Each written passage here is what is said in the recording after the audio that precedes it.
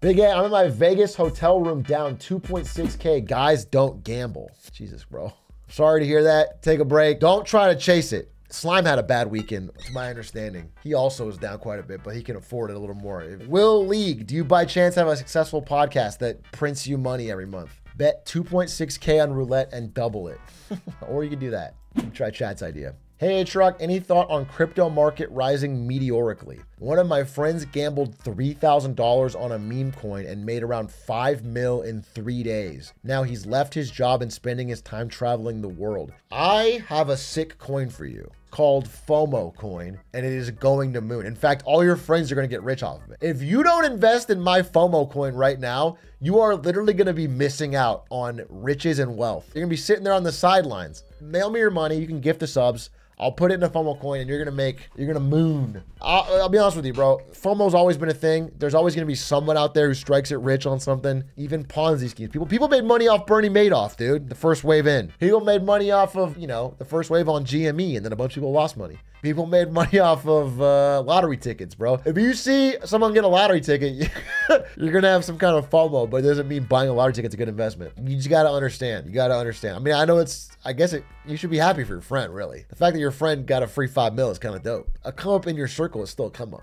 GME is a bad example. There was some serious market manipulation. I promise you, it is not a bad example.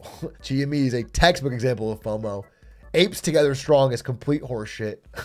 the company is not worth the amount of money that it hit at its peak. It's just not it's not worth that much. The the company does not generate revenues to be worth a market capitalization that it hit. So, market manipulation or no, it was overvalued and people were still buying it as part of this whole apes together strong. Bro, that reminds me of the worst person on fucking earth. Nah, he's not the worst person on earth, obviously. He's not even close, but I fucking hate this guy. Adam Aron, the CEO of AMC. I think this guy is legitimately a piece of shit. I actually don't like him. He makes me upset. He has been playing into the whole apes together strong. He calls himself the last silverback gorilla. He just keeps hyping up and pumping his stupid fucking shitty ass theater stock to unsuspecting broke people, hoping for an easy way to get rich. And it just keeps going down. And he keeps talking about how it's about to moon, how it's about to pump, and it keeps falling and falling and falling. And you know what's happening? At all of these spikes, he's selling. He's talking about how it's gonna moon, how it's gonna pump, how he's never gonna sell anymore.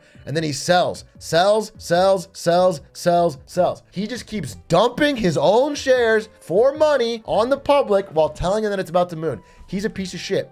And what's really frustrating to me, what really grinds my gears, is that I am weirdly obsessed with this stuff. You know, I, this is what I spend a lot of my free time doing is reading stuff about this and reading this guy's tweets and things like that. And if you read his tweets from back here and you see the replies, they're all like, yeah, yeah, Adam, yeah, CEO Adam, let's do this, let's moon. Let's show these hedgies what's what's up. AMC to the moon, baby, we're with you. And then if you read replies to his tweets now, they're like, hey, I can't afford my daughter's college. You fucked me. I hate you, you rat piece of shit. Hey, Adam Aron, fuck you. You ruined my life. It's all like people that are like completely burnt. Like you read them now, like this year, dude. Look, look at where it is now. Look at where it is now in 2024. It's all just like people that have been burnt and hurt and misled because this guy in a fucking suit told them it was gonna moon. And so, yeah, fuck this guy. And everyone like him.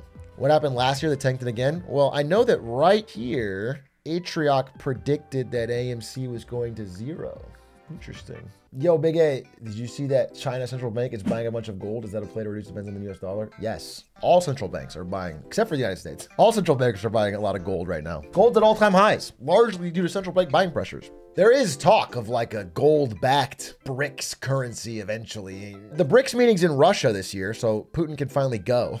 he couldn't go to the South Africa one because he's wanted as a war criminal, so he couldn't go. But it is happening. They are buying, I mean, listen, they are buying gold. There's this thing where uh, the United States runs a trade deficit with almost every other country, but especially China, where, you know, we import a lot more than we export to them. And so they end up with a lot of dollars and we end up with a lot of stuff. And it used to be they would take those dollars and they would buy US treasuries. They would kind of recycle it back into our system. They would buy our debt, basically our IOUs. That's how it used to work. It was a nice symbiotic relationship that kept the dollar on top and it was good for us. Now they buy as few of those as possible and they taking the dollars and buying gold. They've been trying to get a gold store, which is a fundamental change. Again, this all happens slowly over time, but it trickling up and eventually there could be some sort of breaking point. Is that why gold is record highs? Yes, that's a huge part of it. Another part of it is that uh, people are sniffing out that we may not be done in the fight against inflation. And if there is potential for more inflation in the future, then buying gold is a good hedge, which is why some people are doing it. Is that why we call China a sleeping dragon because they're hoarding gold?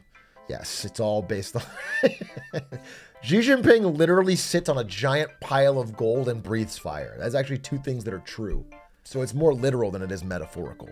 I buy gold so I can ice on my wrist.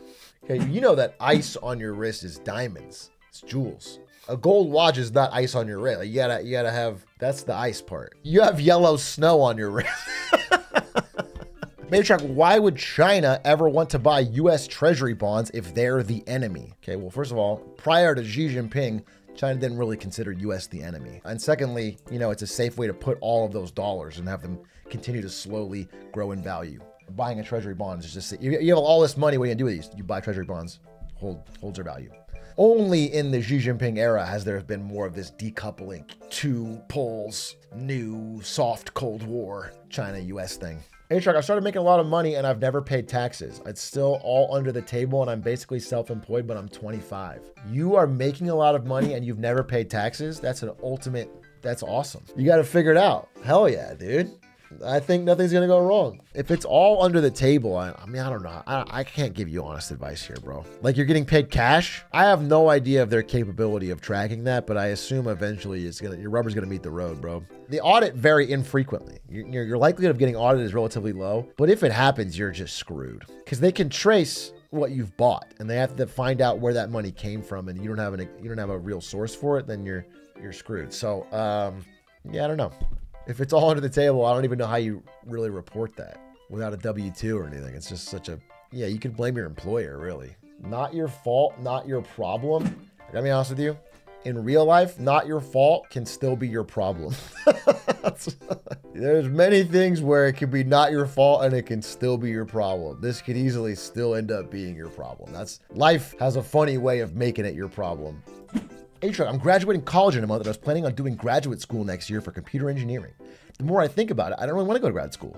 Should I try to get a job or stick it through for two years? I am a bit of a grad school hater. Not saying it can't work for anybody, but it's just very expensive. And so, like, sometimes it's better just to fucking get a job, you know? Get real world experience. But, you know, sometimes if you can't get one, maybe you, you ride it out for two years in grad school and figure it out. Just the level of debt is scary. I'm a, I'm a very, and I'm a, I'm a big debt hater. I'm always advocating against debt at all costs. I sleep better, dude. Some people can just do it. Some people just don't mind. It stresses me out. Yeah, I'm not Dave Ramsey, bro. but I do think of all his points that I don't all agree with, I agree with his general aversion to debt. Having less stuff but having freedom is nice. I, I am I don't buy into the whole this is very American of like, let me get a $3,000 car payment. Let me lease a jet ski.